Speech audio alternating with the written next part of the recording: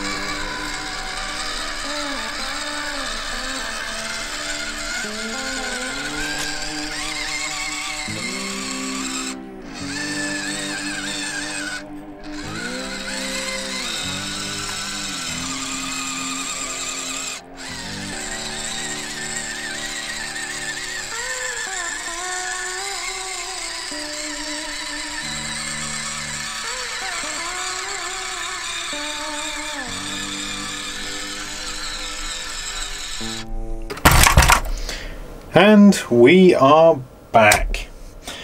Wow, that made so much difference having the two speed in this. The video doesn't actually show it much justice. Some of them hills at the castle, they're like this. So you see clips of me where I'm like helping the trailer along a little bit. That is because it is trying to pull something twice its weight up a slope like that. Which, how far it made, actually surprised me. The only little issue I was having, which I think this may be due to overheating, not overheating on the motor, I think actually on the motherboard itself, is once one battery had died, I had got several batteries with me at the time. I put a new one in and it would only go maybe 10 20 feet and then stop again. It was the exact same problem I was having previously where I thought, oh, the batteries were dead. But uh, at this point, I have like five or six of them now. I tried another one and it would do the exact same. So I waited until I got home, ran it again, and it ran absolutely fine. So I think there is some sort of like overheating protection on that board, which is fair enough considering, like I just said, the weight it is towing. Apart from that, running the truck by itself runs exactly like my original B36 used to run. Absolutely ploughed through a lot of mud, which I'm kind of regretting right now because it fucking reeks. So I may need to uh, Febreze or air freshener it before it goes back on the shelf. But apart from that, like I said, I am very, very impressed with just two simple things improved it drastically. So, all I've got to say is thanks for watching. Please like, comment, subscribe, whatever else you want to do. Links where to buy this will be down in the description. Where to get the upgrades as well. And I'll leave you with some clips of me attempting to try and drift this on ice. And goodbye.